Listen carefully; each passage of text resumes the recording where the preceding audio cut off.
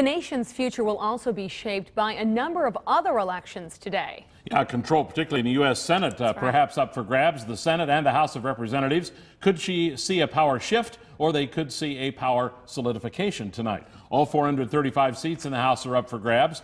Right now, Republicans hold 240, the Democrats 190. There are five vacancies.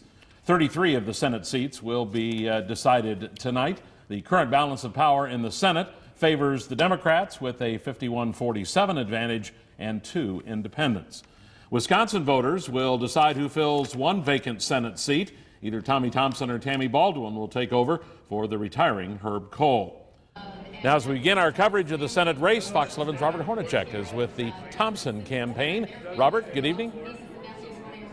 Good evening, Tom. I'm at the Marriott West Hotel in Pewaukee. That's just west of the city of Milwaukee. And Governor Thompson will be here at some point this evening to address his supporters. Right now, there's not a lot going on here. There's a lot of media, local, state, and some national folks here set up, getting ready for the evening, getting ready for some speeches here tonight. But for Tommy Thompson, it's been a very busy last few days of the campaign. Tommy Thompson made his way to the polls this morning at City Church in Madison. It was not the first time the Republican Senate candidate saw his name on the ballot, but it has been a few years.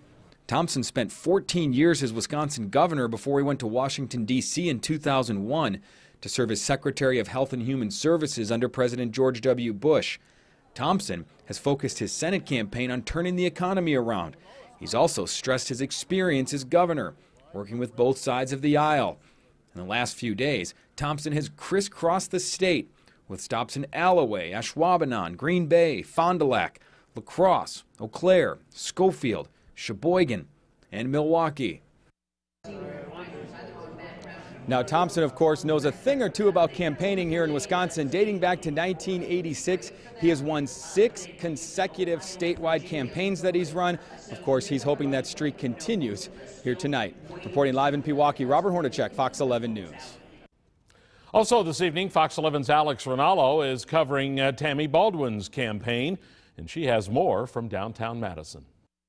I'm at the Monona Terrace in the Madison Ballroom, and right now you can see behind me there is a little bit of activity going on as campaign workers get ready for the main event.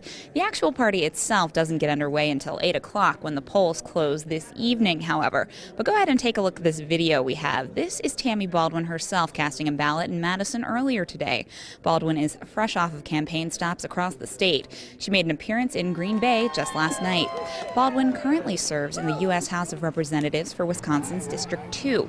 The congresswoman was first elected to that position in 1999. Baldwin is a member of the House's Committee on Energy and Commerce. She calls herself a strong supporter of universal health care and energy independence. Now, Baldwin is hoping to keep retiring Democratic Senator Herb Kohl's seat in her party. She ran unopposed in the Democratic primary this summer. Since then, the polls have been rather close between her and Republican opponent Tommy Thompson. Reporting in Madison, Alex Rinaldo, Fox 11 News closed.